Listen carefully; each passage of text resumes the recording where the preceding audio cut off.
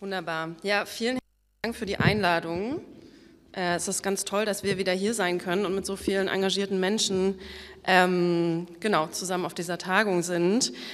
Wir wollen jetzt einen kurzen Impuls ähm, geben, der vielleicht im besten Falle so einen Rahmen darstellt für all die Themen und Expertisen, die wir in, innerhalb von diesen zwei Tagen versammeln können und vielleicht auch so ein paar Impulse gibt für die Diskussion, die uns dann ja, sicherlich umtreiben werden in den nächsten Tagen.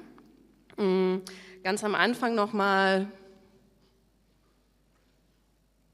Mm, genau, muss ich mal kurz weiter pointen.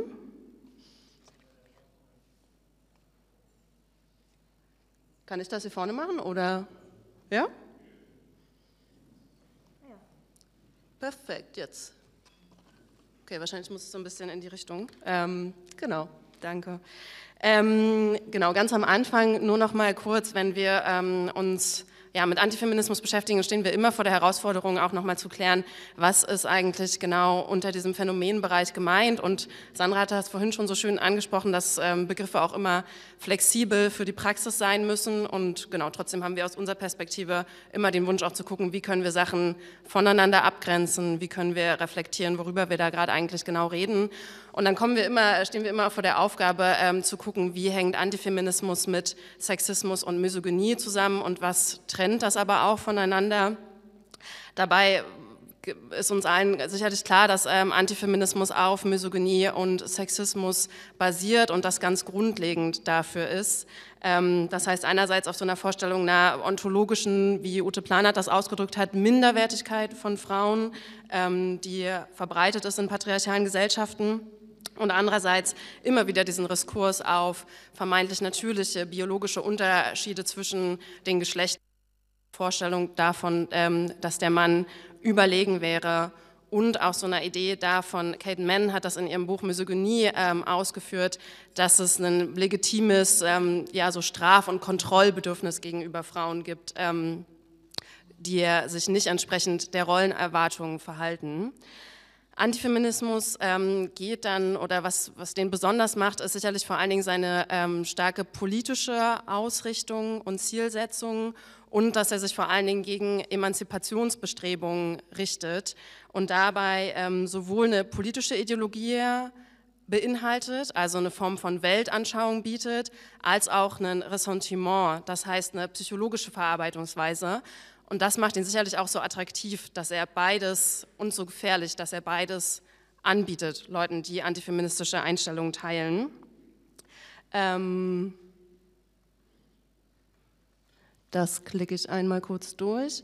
Genau, dabei ist der Antifeminismus, ähm, das wissen wir auch, weil der hat eine lange historische Geschichte in Deutschland seit über 100 Jahren, eine durchaus wandlungsfähige Ideologie. Das heißt, er passt sich immer wieder den aktuellen ähm, ja, feministischen Kämpfen und Bewegungen an und reagiert auf diese und reagiert aber auch auf gesellschaftliche Verhältnisse, weil es ist eine Verarbeitungsweise von gesellschaftlichen Widersprüchen. Ähm, Genau, was ähm, aber immer zentral ist, ist, dass eine hierarchische, vermeintlich natürliche Geschlechterordnung verteidigt wird und das einhergeht mit normativen Vorstellungen in Bezug auf Geschlecht und Sexualität, damit ähm, eine heterosexuelle männliche Vorherrschaft zu verteidigen und eine ähm, heterosexuelle Kleinfamilie. Was den Antifeminismus besonders macht, ist, dass er mit Bedrohungsszenarien arbeitet und die immer wieder aufruft und diese Bedrohungsszenarien oder er gleichzeitig für diese Bedrohungsszenarien einen Umgang anbietet, indem er Feindbilder konstruiert und man der Bedrohung Herr werden kann, indem man diesen Feindbildern gegen die kämpft, sich gegenüber denen ermächtigt. Das heißt, die Feindbildkonstruktion ist zentral dabei ähm, und die wiederum legitimiert auch Gewalt, was den Antifeminismus so gefährlich macht. Ähm, ganz vorne stehen dabei äh, in den Feindbildern Feministinnen, ähm, Transpersonen und ähm, homosexuelle Personen. Genau, es geht aber natürlich darüber hinaus. Und was wichtig ist, das wurde auch schon angesprochen, wir haben es mit einer intersektionalen Ideologie zu tun. Das heißt, es gibt sehr enge Verknüpfungen zu anderen Formen von Menschenfeindschaft, Ganz vorne mit dabei ist eine rechtsextreme ähm, Ideologie, der christliche Fundamentalismus. Das sehen wir immer wieder, das sehen wir auch in Sachsen. Dazu wird es gleich auch noch ein bisschen mehr geben in Bezug auf den Erzgebirgskreis. Ähm, genau, religiöser Fundamentalismus, Antisemitismus, das ist eine historisch gewachsene, sehr enge Verbindung, die wir auch aktuell wieder ähm, sehr deutlich sehen in Bezug auf Transfeindlichkeit, da kommen wir auch noch drauf zu sprechen. Und ähm, was dem Ganzen so unterliegt, ist eine Verbindung zu autoritären Einstellungen. Das ist ähm, ja auch so ein bisschen unser Schwerpunkt in Bezug auf die Leipziger Autoritarismusstudie. Dazu auch noch gleich was. Wenn man jetzt also versuchen würde, ähm, das in eine Definition zu packen, dann könnte man sagen, Antifeminismus ist ein wandlungsfähiges Ressentiment gegen feministische Emanzipationsbestrebungen Dabei ähm, verteidigen antifeministische Ideologien eine vermeintlich natürliche patriarchale Geschlechterordnung und traditionelle Geschlechtervorstellungen und stehen in enger Verbindung mit anderen ähm, Formen von Menschenfeindlichkeit.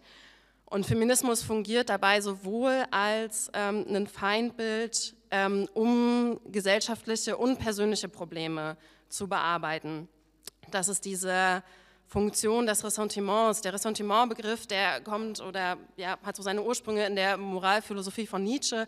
Der hat das mal bezeichnet als so heimlichen Groll, irgendwas, was man so in sich aufstaut, was eigentlich ein Resultat ist aus einer persönlichen Kränkungserfahrung und insgesamt so ein Gefühl, dass man unterlegen ist, dass man ähm, neidisch ist auf andere Personen das heißt, genau, es ist so ein Gefühl der, der diffusen Abneigung, die auf einem Unterlegenheitsgefühl basiert und was immer wieder reaktiviert werden kann und sich gegen unterschiedlichste Feindbilder richten kann.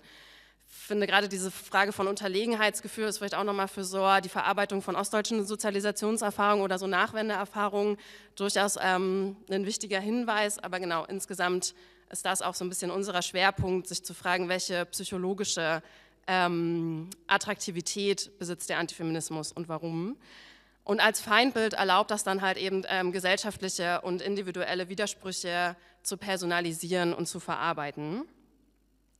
Jetzt noch mal ganz kurz, ähm, die Zahlen werden sehr viele von euch kennen, nur um das mal kurz anzuteasern, weil in ungefähr zwei Wochen erscheint die neue Leipziger Autoritarismusstudie. Ähm, genau, das heißt, dann werden wir auch wieder ähm, ganz aktuelle Zahlen mitbringen können. Aktuell dürfen wir aber noch nichts davor weggreifen, ähm, tut mir leid.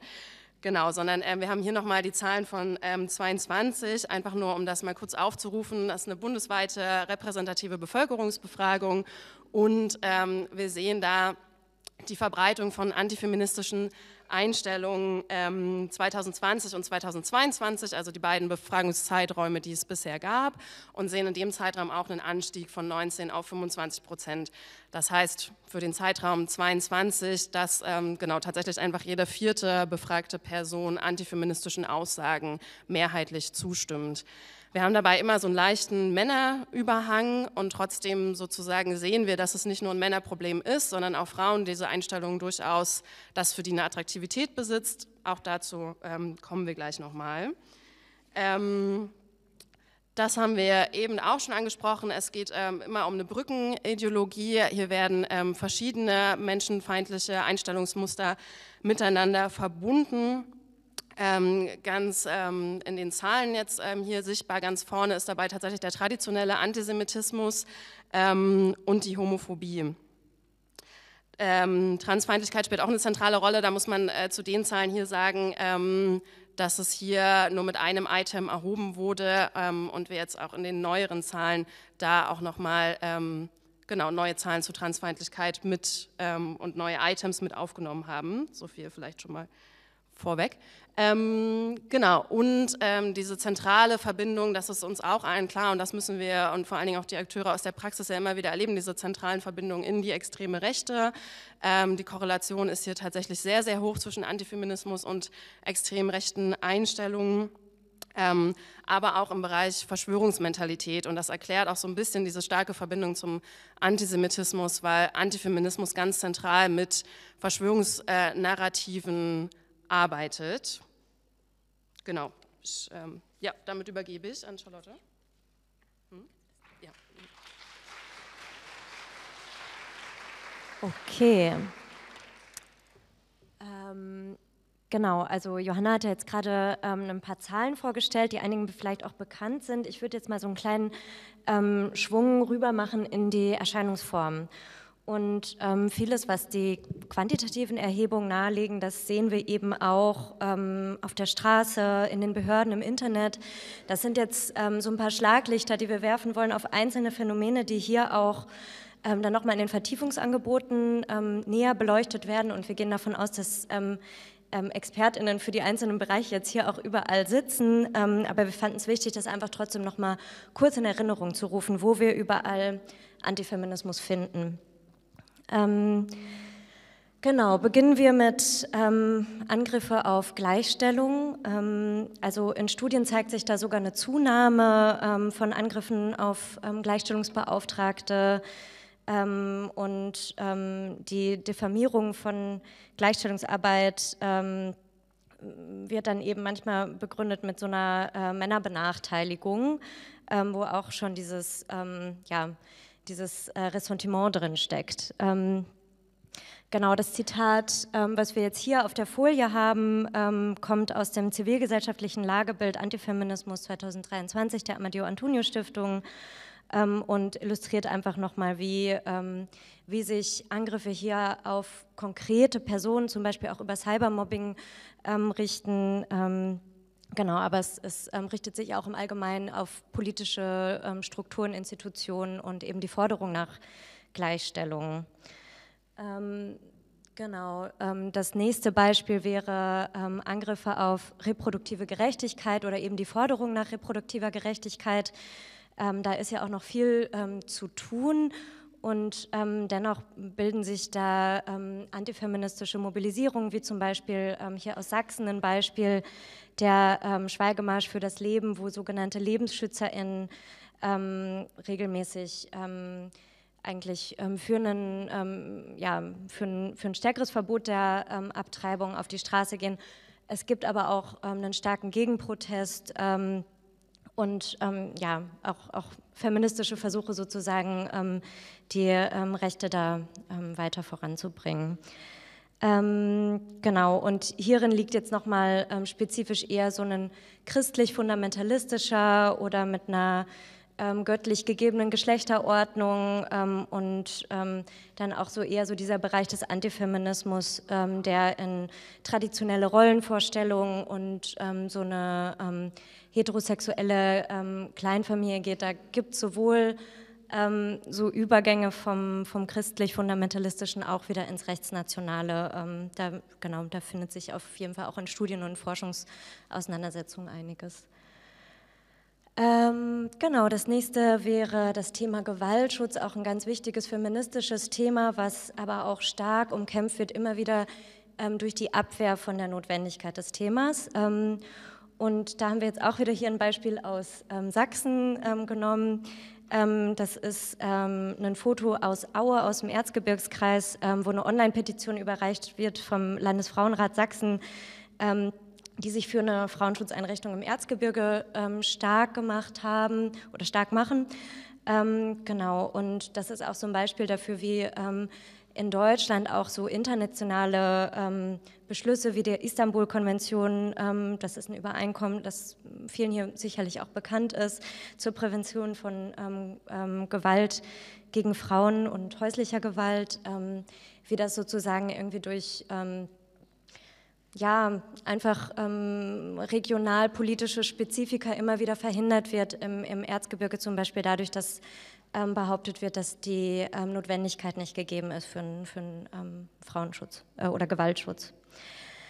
Ähm, genau, dann machst du weiter. Nächstes Phänomen.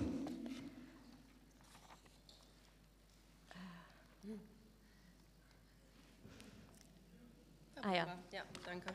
Ähm, genau, eine Verbindung, die auch keineswegs neu ist, aber ähm, aktuell nochmal in Mobilisierung sich sehr stark zeigt und unter anderem auch in den AfD-Kampagnen eine stärkere Bedeutung findet, ist ähm, Queer- und Transfeindlichkeit. Ähm, hier zu sehen einmal ähm, ein Plakat der Kampagnenaktion der AfD Sachsen, was sie ähm, im vergangenen Jahr ähm, genau gelauncht haben, diese Kampagnenaktion.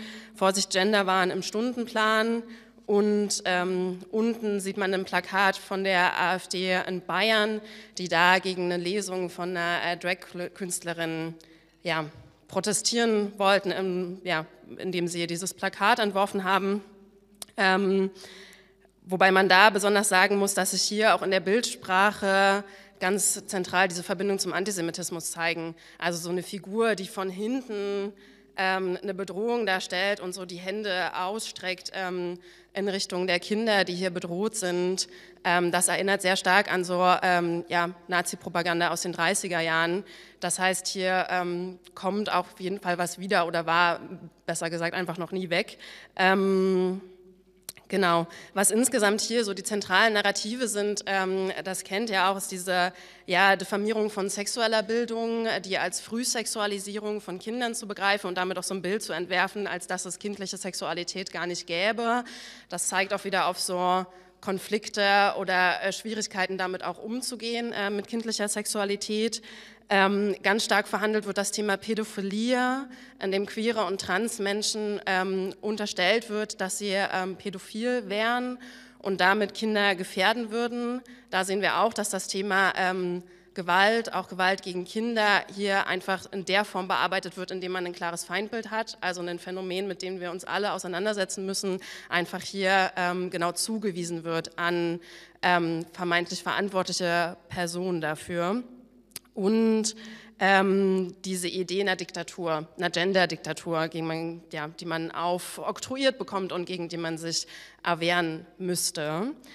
Ähm, wie sehr, oder dazu vielleicht auch nochmal eine bisschen äh, tiefergehende Analyse. Wir haben ähm, von dem FB einen Digitalreport rausgegeben, da beobachten, es ist einfach ein Monitoring von ähm, ja, rechten Telegram-Kanälen und Gruppen. Das haben wir im letzten Jahr mal spezifisch für Antifeminismus und Queerfeindlichkeit gemacht. Da kann man das dann auch nochmal ein bisschen spezifischer auch für Sachsen ähm, nachvollziehen und wie erfolgreich diese ähm, Kampagnenarbeit ist oder wie sehr dieses Thema auch ähm, verfängt, mussten wir dann in diesem Jahr noch mal stärker auch auf der Straße sehen im Rahmen der rechten Mobilisierung gegen den CSD ähm, in Sachsen an unterschiedlichen Orten. Die Bilder sind euch sicherlich noch bekannt. Ähm, relativ erschreckend war ja dann Bautzen, so ein bisschen als so der Auftakt mit 700 Neonazis ähm, aus so einer ja, rechten Jugendkultur, die sich da vor allen Dingen von den jungen Nationalistinnen, aber auch so von ähm, den Freien Sachsen und den Dritten Weg, also sehr bekannte Neonazi-Akteure ähm, haben mobilisieren lassen und die das dann auch sehr gefeiert haben, dass sie jetzt schaffen, gerade ähm, ja, so eine rechte Jugendbewegung ähm, an den Start zu bringen und man das dann medial ja auch sehr viel gesehen hat mit so einer Frage von, haben wir es gerade mit einem ähm, Rechtsruck unter den Jugendlichen zu tun und was sind dafür eigentlich die Gründe? Auch dafür wäre ich sehr stark dafür, von Kontinuitäten zu sprechen und gleichzeitig haben wir natürlich ähm, spezifische ähm, ja, gesellschaftliche Umstände, die das begünstigen. Und damit würde ich es auch nochmal weitergeben. Genau. Ähm, als letztes haben wir jetzt noch ein Beispiel, was vielleicht gar nicht so offensichtlich oder vielen hier vielleicht schon, aber ähm, was zumindest nicht so. Ähm, hm? Okay. Ähm, also vielleicht eher so ein bisschen aus dem. Nein? Okay. Eher so ein bisschen so aus dem popkulturellen Spektrum kommt und ähm, das haben wir ausgewählt, ähm, weil es ja aus unserer Perspektive nicht weniger relevant ist, sich auch solche Phänomene anzuschauen, die sozusagen ähm, den kulturellen ähm, Boden oder auch irgendwie so symbolisch sind für ja das, was ähm, ja so einen ähm, Backlash oder irgendwie so die, die Sehnsucht nach traditionellen Frauenrollen als auch ein Motiv der extremen Rechten, aber eben auch sehr stark in der Alltagskultur zugänglich ist. Und deshalb haben wir hier ähm, ja, exemplarisch Bilder von einer Treadwave, einem Stay-at-Home-Girlfriend und einer Godfluencerin mitgebracht. Und ähm, ich, ähm, das ist alles zu finden auf ähm, Social Media, also TikTok, YouTube ähm, und ähm, Instagram. Und ich würde noch mal kurz auf die Godfluencerin ähm, außen rechts eingehen. Das ist Jana Highholder mit rund 70.000 FollowerInnen bei Instagram und sie vermittelt eben, so wie die anderen auch, eine traditionelle Frauenrolle und orientiert sich dabei an der wörtlichen Auslegung der Bibel. Ähm, was jetzt vielleicht so ein bisschen das ähm, ja, Skandalöse ist, dass ihr Account von April 2018 bis Juni 2020 von der evangelischen Kirche gefördert wurde. Und ähm, äh, genau, ähm, jetzt hat sie sich so ein bisschen gelöst aus der Förderung der evangelischen Kirche und ähm, ja, verbreitet einfach ähm, ja, zusammen unter anderem mit ähm, Jasmin Neubauer, die hier auch zu sehen ist, neben ähm, Jana Hochhalter, genannt Highholder, in dem Podcast Jana und Jasmin ähm, und hier auf der Textkachel ist eben zu lesen, such dir einen Mann aus, der deiner Unterordnung würdig ist. Und im Hintergrund des Fotos der beiden Influencerinnen ähm, liegt dann bei Instagram ein Audio äh, hinterlegt, in dem die beiden ja so eine wörtliche Bibelauslegung ähm, machen und ähm, ja eigentlich so eine reaktionäre ähm, Hierarchie zwischen Ehefrauen und Männern bewerben und damit eben auch ähm, eine Zielgruppe ansprechen, die ja die Social Media nutzt. Ähm, Jasmin Neubauer, also ist vielleicht nochmal so ein Side-Fact, hat übrigens auch mit dem ganz klar rechtsradikalen Influencer Ketzer der Neuzeit ähm, einen queeren Gottesdienst gestört. Und ähm, also da gibt es auf jeden Fall auch sehr offensichtliche Verbindungen. Aber ich denke, es ist nicht notwendig, dass es diese Verbindung gibt, weil das an sich auch schon als Phänomen ähm, ja, vielleicht für so, ein, für so, eine Symptomatik steht, ähm, die, die so ein antifeministisches Klima auch äh, online ähm, ja, befeuert oder ähm, genau. Und jetzt komme ich zu unserem letzten Abschnitt. Ähm, das ist so ein bisschen mehr so die sozialpsychologische Deutung des Ganzen. Ähm, okay. Genau. Jetzt sind wir nämlich bei Antifeminismus als Krisendeutung. Ähm, genau, ähm, wir verstehen Antifeminismus im Großen und Ganzen als ähm, einen Umgang mit gesellschaftlichen Krisen, Konflikten, ähm, auf die feministische Bewegung und auch demokratische Bewegung hinweisen. Und es ist so ein bisschen so eine Abwehr, sich eigentlich wirklich mit dem Kern der Krisen und Konflikte zu beschäftigen ähm, und dann eben einen Ausweg in so autoritären ähm, Rückzugsangeboten ähm, zu finden, wie zum Beispiel einer ähm, traditionellen ähm, Frauenrolle als dem, was einen dann aus den Krisen rausbringt.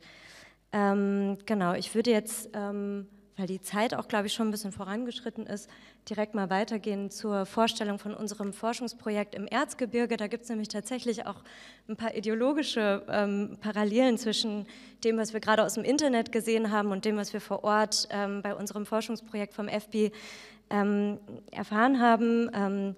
Genau, wir haben dort ähm, ein Forschungsprojekt durchgeführt mit ähm, verschiedenen Gruppen. Und zwar haben wir da Teilnehmende aus ähm, den ja, so klassisch feministisch erkämpften Bereichen eigentlich ähm, geführt. Da waren Teilnehmende aus den Bereichen Frauengewaltschutz, Schwangerschaftskonfliktberatung, demokratisch engagierte Frauen und eine Gruppe ähm, Jugendlicher aus einer christlichen Gemeinde.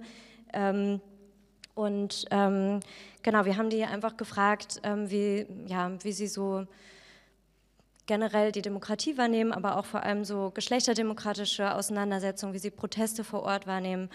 Und ähm, was ähm, deutlich wurde, war, dass es so ein bisschen so einen, also das ist jetzt sehr knapp heruntergebrochen, die, die Antworten waren natürlich sehr unterschiedlich, aber was uns aufgefallen ist, ist, dass es teilweise so eine Tendenz dazu gab, ähm, auf die Frage nach Geschlechterdemokratie erstmal mit einer Erzählung über den Sozialraum und den Schwibbogen und ähm, die Region zu antworten. Und da wurde sozusagen auch deutlich, dass, ähm, dass der Raum vielleicht auch ähm, fehlte, sich mit der Region an sich auseinanderzusetzen.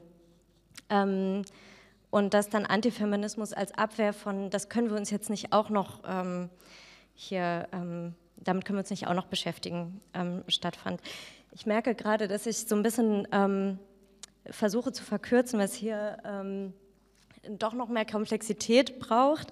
Ähm, wir haben auf jeden Fall ähm, diese Studie ähm, versucht jetzt nochmal ähm, zusammenzufassen in einem Sammelband, ähm, wo wir auch noch andere Texte zu dem Bereich Provinzialität und Antifeminismus ähm, zusammengefasst haben, wo es sozusagen so ein bisschen um die Frage geht, ist Feminismus als ein Großstadtphänomen zu fassen und ist Antifeminismus nur auf dem Land zu finden? Das ist natürlich nicht so. Ähm, und ähm, dieser Sammelband ähm, wird 2025 bei Transkript erscheinen, wo auch das Erzgebirgsprojekt noch mal ein bisschen ausführlicher dargestellt wird, als jetzt hier die Zeit auch reicht.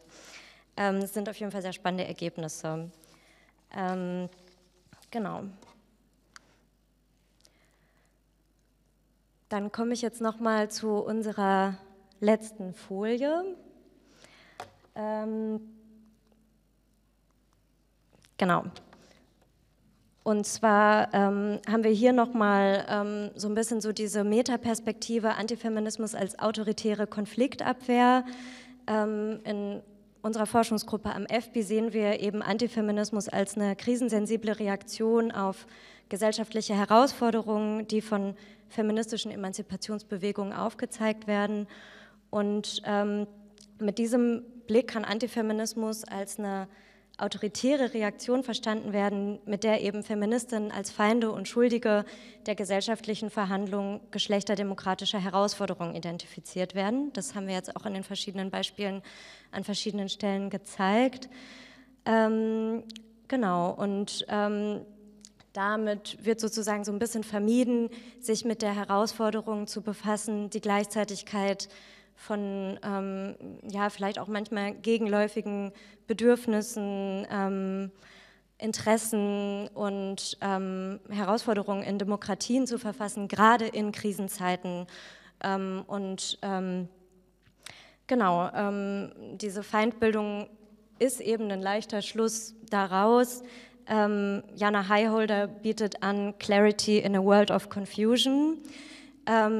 Ich denke, alle hier Anwesenden wissen, wie schwierig es ist, ähm, sich demokratisch mit diesen ganzen Confusions und Widersprüchen und Krisenerscheinungen zu befassen und ähm, ja, immer wieder um, um Auseinandersetzungen und ähm, ja auch ein Verständnis der Konfliktlagen irgendwie zu ringen. Ähm, und ähm, ja, in dem Ausblick wollen wir uns auch nochmal für die Einladung bedanken, weil wir denken, dass so was wie die Netzwerktagung hier ganz wichtige Anfänge sind, um eben den Herausforderungen ähm, der Emanzipation und der Demokratie ähm, wirklich zu begegnen.